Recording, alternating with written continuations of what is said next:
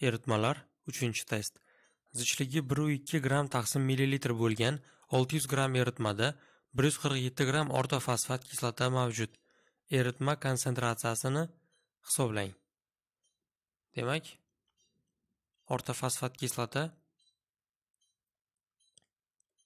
H3 PO4 98 gram taqsim mol maylar massasi. Eritma berilgan bizga 1,2 gram taqsim millilitr zichligi.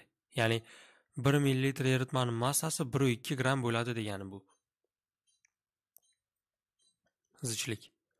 600 gram eritma demak 1,2 gram taqsim millilitrga bo'lsak 500 millilitr chiqadi. Ya'ni 600 gram eritma 500 millilitr bo'lishi kerak, ya'ni bu yarim litr. 0,5 litr. 147 o'rta ortofosfat kislotani molini hisoblaymiz. 147 grammi necha mol bo'ladi? 98 grammi 1 mol bo'ladi. Demak, 1,5 mol chiqadi.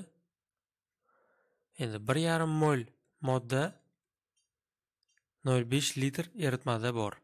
0,5 litr eritmada bor. Konsentratsiyasi 3 mol taqsim litr bo'ladi. 3.0 taqsimlidir. C variant, B variant